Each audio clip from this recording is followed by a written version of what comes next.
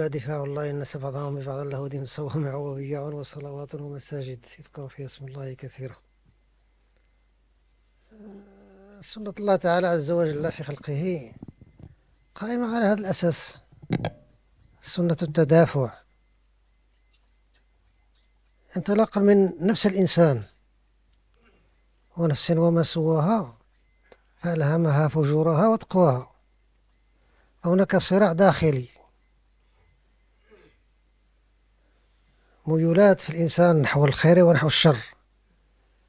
كيف الإنسان ينمي فيه إرادة الخير ويقهر إرادة الشر التي يستغله الشيطان لعنه الله.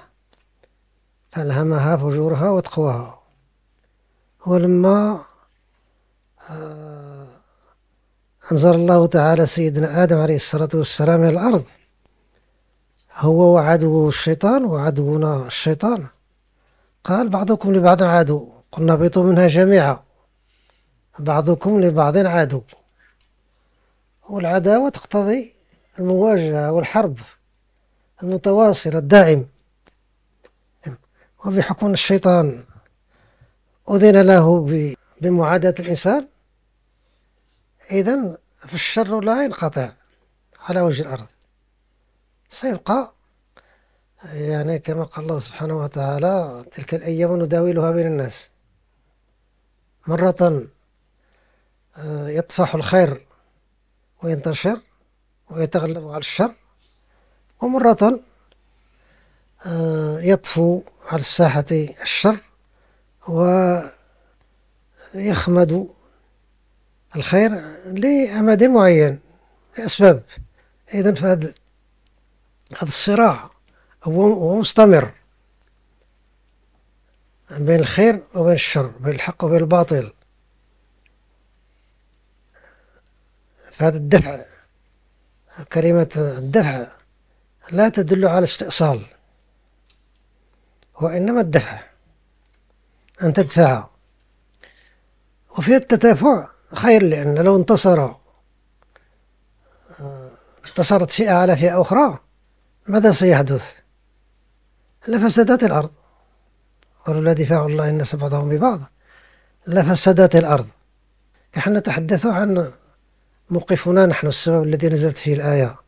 يعني الصحابة رضي الله تعالى عنهم وأرضاهم. أذن للذين يقاتلون بأنهم ظلموا وإن الله على نصرهم. لقدير الإذن. وكانوا ينتظرونه وكانوا يلحون في الطلب. في بيعة العقبة قالوا رسول الله صلى الله عليه وسلم إن شئت لنميلن عليهم غدا بسيوفنا. ندخل معهم في المواجهة وفي الصراع. فقال رسول الله إني لم أمر بعد لابد من الإعداد ومن البناء ومن التكوين. آه، نستفيد من من الآية الكريمة التي ذكرت مواطن العبادة. صوامع وبياع وصلوات ومساجد يذكر فيها اسم الله كثيرا. يمكن أن نستفيد من هذه الآية. يعني آه، ما هو مطلوب من الأمة الإسلامية تجاه البشرية عامة وتجاه أهل الذمة؟ كيف نتعامل معهم؟ الذي أردت أن أركز عليه هو موقف المسلمين من البشرية. حماية الإنسان الدفاع عن الإنسان حفظ الإنسان حفظ الكرامة الآدمية رفع الظلم على الإنسان إغاثة الإنسان تقسيم أرزاق الناس على على عباد الله تعالى عز وجل بالقسط رفع الظلم عن خلق الله سبحانه وتعالى عز وجل. وهذا من مقتضيات الخلافة. وعد الله الذين آمنوا منكم وعملوا الصالحات ليستخلفنهم في الأرض. ليستخلفنهم في الأرض. سنة الله تعالى عز وجل محمد تحدث عنها سيد الإسلام يعني شروط النصر. عندما تتوفر وعد الله الذين آمنوا منكم الصالحات ليستخلفنهم في الأرض. هذه الأمة من خصوص مما أخصها الله سبحانه وتعالى من هذه السنن المبشرة. لا ينبغي أن نتعامل معها. التعامل الذي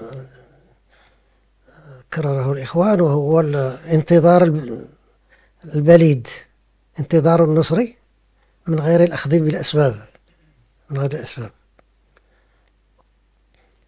كما نتعامل مع المبشرات الغيبية كذلك نتعامل مع المبشرات النبوية والقرآنية. فهذه الآية من المبشرات. وعد الله الذين آمنوا والصالحات لأنها لم تقع بعد وستقع. سيدنا عليه وسلم رحمه الله يتكلم عن مبشرات الغيب أنها ال ال تقول لصاحبها إن الذي أنت إليها ولست عليها. خذ بالأسباب. أنت إليها. ولست عليها الآن. لا تنتظر. ولكن تحرك. خذ بالأسباب. وسيأتي النصر. في الأحاديث التي التي تتحدث عن آخر الزمان منها ما هو في في التبشير فيها الأحاديث تبشيرية وفي أحاديث فيها تحذير وإنذار. كيف نتعامل معها؟ بالنسبة للأحاديث المبشرة يجب أن تزيدنا يقينا في وعد الله سبحانه وتعالى وأن نسعى لتحقيق هذا اليقين. وبالنسبة للأحاديث الأخرى التي تخبر بما سيقع من فتن ومن أهوال ومن فتن ومن خصومات بين المسلمين كيف نتعامل معها؟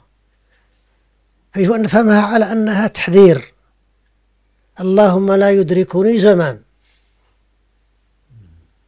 يقع في هذه الفتن وتقع في هذه الابتلاءات. أن نأخذ الحذر من أن تلحقنا هذه الفتن. هي لاحقة ولكن بما ما تقتضيه يقتضيه الشرع منا لأن هذا قدر. ولكن ما يقتضيه الشرع منا هو أن نتلافى هذه الفتن. هذا هو المطلوب. المطلوب منا التعامل ديالنا مع يعني الأحاديث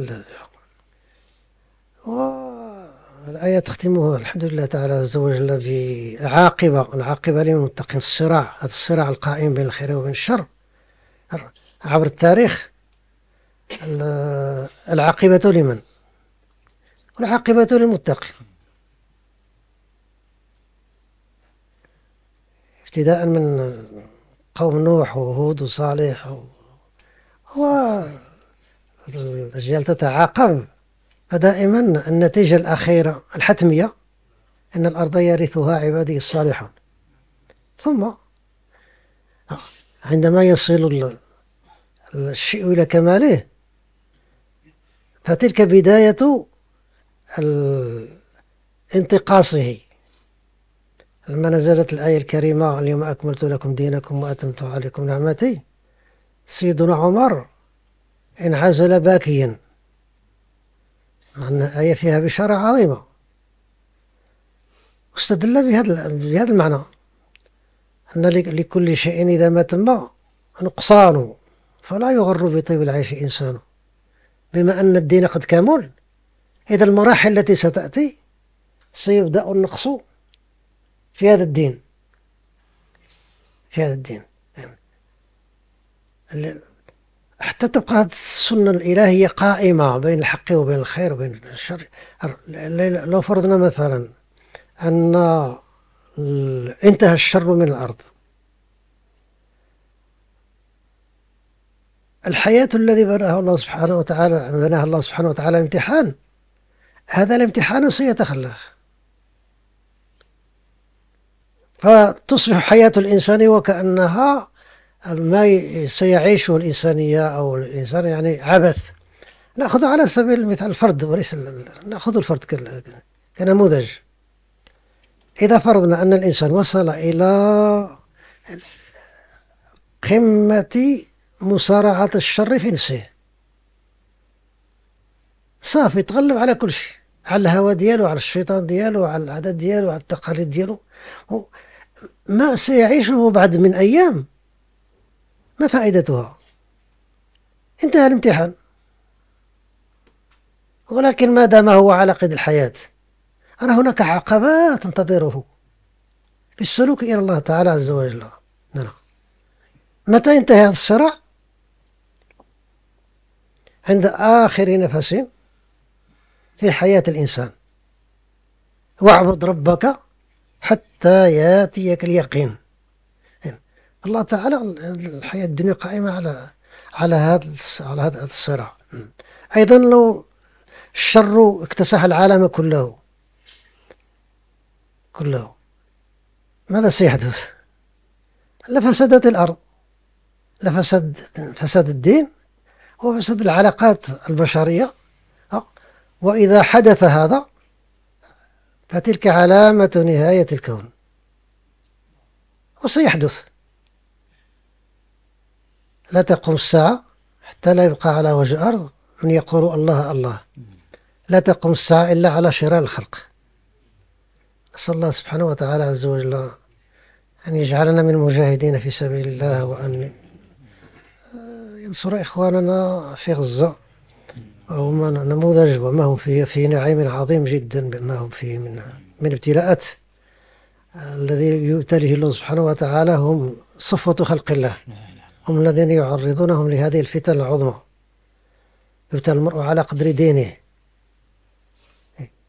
فدينهم فيه صلابة وفيه قوة. ولهذا عرضهم الله سبحانه وتعالى لهذا الابتلاء العظيم. صلى الله عليه أن يفرج عنهم وعن أمة رسول الله صلى الله عليه وسلم. قل قول هذا واستغفر الله.